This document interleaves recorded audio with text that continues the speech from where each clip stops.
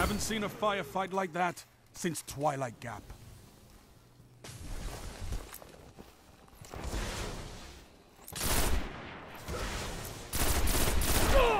Enough! This battle was one-sided.